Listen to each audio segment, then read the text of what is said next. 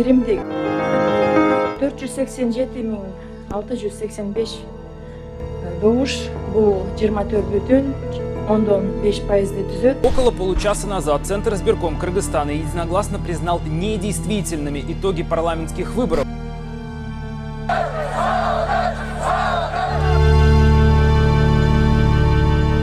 С каждой революцией этих проблем становится еще больше. Народ потерпит любую власть, да, хоть какую власть, если эта власть справедливая. Столица Киргизии уже больше часа живет в режиме чрезвычайного положения. Бишкек продолжает бурлить.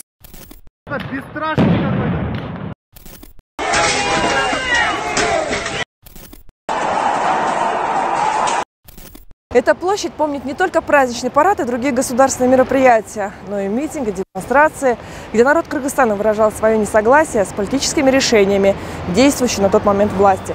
Так и октябрьские события стали поворотным в судьбе Кыргызстана, когда государственное устройство полностью поменялось.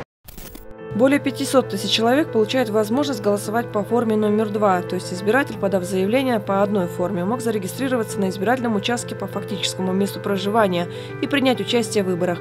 Позже сами члены Центра избиркома признают, что эта цифра станет далекой от реальности.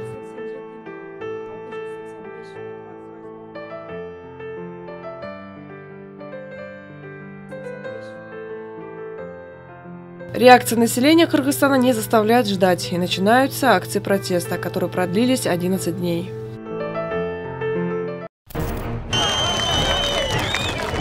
На площади Бишкека начинается митинг-протест против предварительных итогов голосования на парламентских выборах. Участники требуют отменить итоги и назначить новые выборы. Около пяти политорганизаций объявляют об объединении, к ним позже присоединится еще шесть партий. Вечеру стягивают спецтехнику МВД и спецназ. Под утро взят Белый дом. Участники митингов освободили с мест лишения свободы ряд политиков. Начинаются отставки чиновников. Спикер парламента Джумабеков, премьер-министр Буронов уходят со своих постов. Наблюдается захват горнодобывающих компаний по всей стране. Молодежь требует люстрации. Ночь с 6 на 7 октября становится напряженной. Дружинники отстояли город от мародерства и разрушений. Продолжается захват госучреждений Мегаком, Кыргызгомир, Кыргызалтын, Кумтер.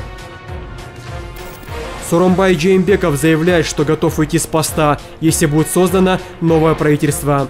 Правда, его пресс-секретарь позже объявит об обратном. Джеймбеков вводит режим чрезвычайного положения, вводят армию и спецтехнику. Парламентарии проводят заседание, утверждает Садыра Джапарова премьер-министром и новый состав правительства. Наблюдается стабилизация ситуации.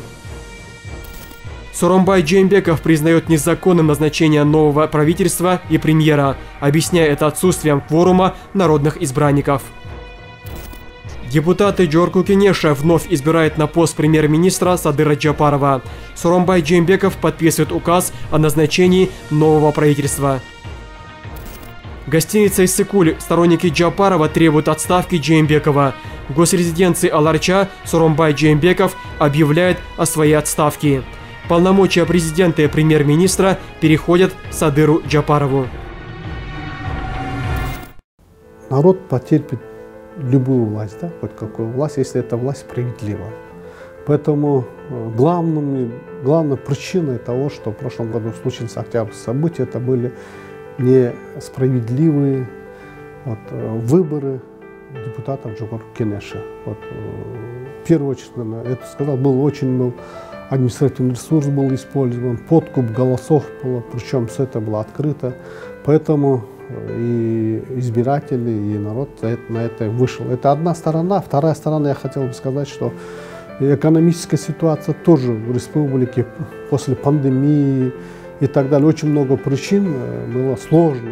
Экономическая ситуация, выпадение бюджета было. И за эти последние годы я сказал бы, что и уровень жизни населения тоже не так поднялось, как, как бы хотелось этого. Да? Вы знаете, у нас в Конституции всегда была закреплена святая норма. Она есть, она будет, и она всегда так должно быть. Это международные стандарты. Власть принадлежит народу. То есть источник власти является народ. И народ управляет государством через своих представителей. Выбирает местные кенеши, выбирают э, парламент своих э, депутатов, выбирают президента, айлөкмөтү. Таким образом, народ осуществляет свои конституционные права источника власти. И когда наше общество настолько созрело, настолько созрело из-за вот этих э, э, трех революций, и что просто невозможно сделать так, чтобы э, фальсифицировать выборы и заставить народ это проглотить. Но у нас в обществе это не получится.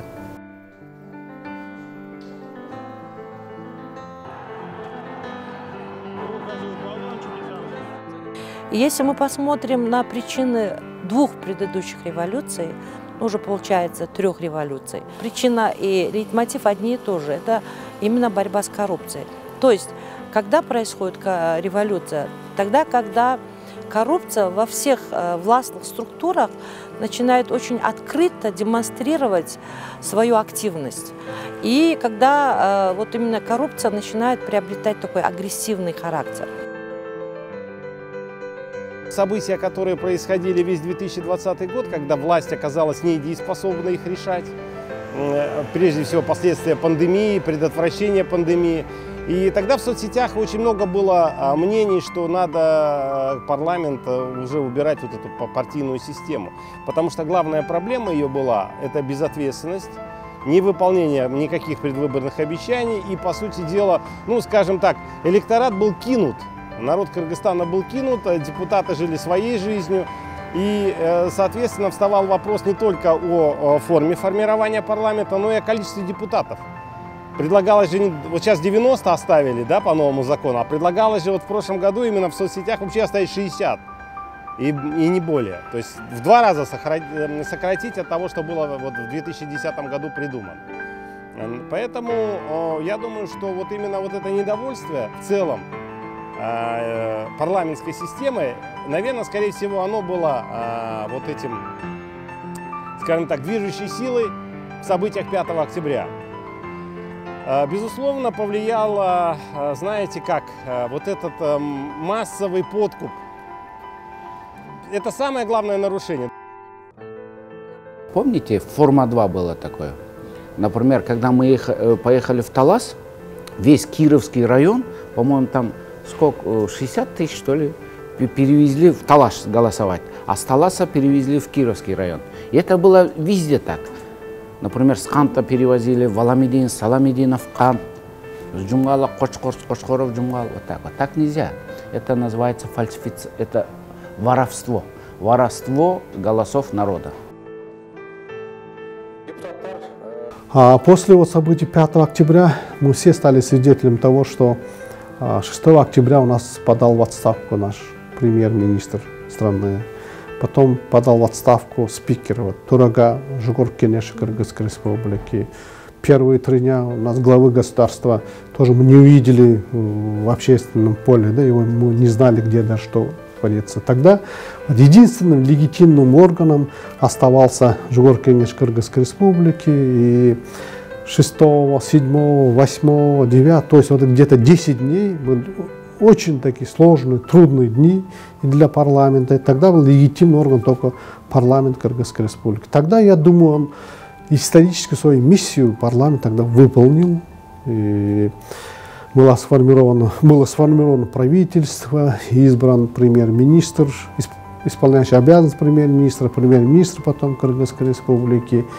И дальнейшие шаги уже были как бы в правовом поле. Элибиздин биримдигин жана мамлекетибиздин бүтүндүгүн, коопсуздугун сактоого ант беремин. События октября 2020 года стали поворотными для Кыргызстана, если некоторые эксперты считают, что страна еще раз увидела всю силу народа в несогласии с политическими решениями, то другие отмечают, октябрь 2020 изменил государственное устройство. Впереди важное политическое событие – выборы депутатов парламента. Выборы, которые должны пройти открыто и справедливо.